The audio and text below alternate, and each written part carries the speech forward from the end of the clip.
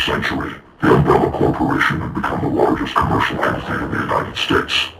Nine out of every ten homes contain its products. Its political and financial influence is felt everywhere. In public, it is the world's leading supplier of computer technology, medical products, and healthcare. Unknown even to its own employees, its massive profits are generated by military technology, genetic weaponry.